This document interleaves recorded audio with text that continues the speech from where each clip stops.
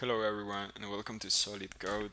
In this video we will see how to update the Heroku stack of your application. In this case I have three apps that are really old, these two right here and this one. You can see that they were uh, using the Heroku 16 stack. So we need to update them because otherwise the builds are going to stop working. So I'm going to show you how to do it.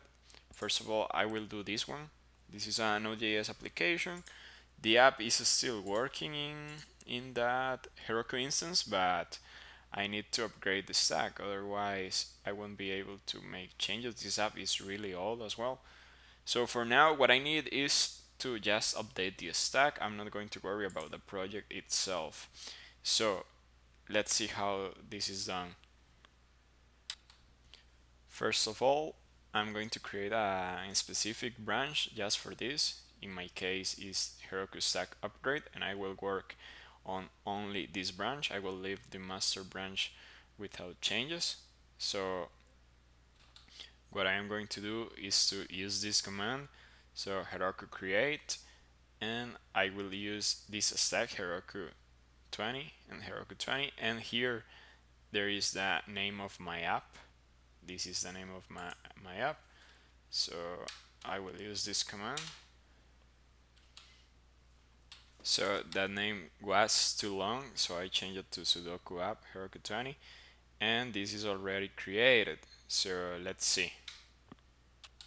So as you can see here I went to that URL and here I have my app and it says refer to the documentation if you need help deploying it. So now that's what we need to deploy the app. Before doing the deploy, it's important to know that if you had add-ons like, I don't know, ClearDB or any of the add-ons that Heroku has in your original application, you need to add them to this one. Also, for example, if you have certain configurations, you need to add them. I will put the link in the description of the Heroku documentation for this migration of add-ons. But if you don't have any add-on, you don't have to worry. So we just need to do the deploy. In order to make the deploy successfully, you need two things. Since probably this is a really old application, you need to put in your engines the version of Node and npm on which version on which project was running right? Because otherwise it's not going to work. That happened to me at the beginning. And in order to deploy it you need for example in this case I'm using this uh, branch Heroku stack upgrade. So you need to use git push um, the stack of Heroku in this case is Sunny and Heroku stack upgrade. In this case this is my branch. Here would be your branch two points and master. Otherwise it's not going to work because otherwise will not do the the build that Heroku runs on the deploy. So if I go here I see my app working.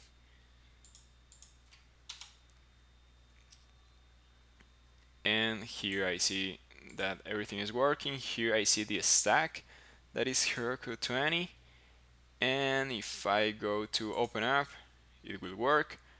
So now we know that with Heroku 20 we are not going to have issues. That is good. But we haven't migrated the original, right? The one with the issue. This one. So let's do that.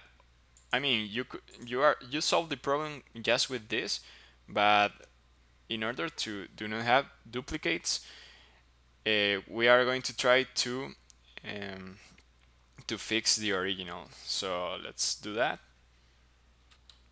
In this case, we just run the Heroku stack set, the Heroku 20 minus a and the number of the original app in my case was this one sheltered citadel right so that is okay and finally we need to run the following command so it's the same one that we did last time. So let's run it. So it worked. I had to change a little bit the command because I had to use the force because there was some problems. Probably other partner, yeah, other teammates, sorry, did a push recently, but I didn't know that. But uh, it was not doing anything. Maybe he was trying the same thing.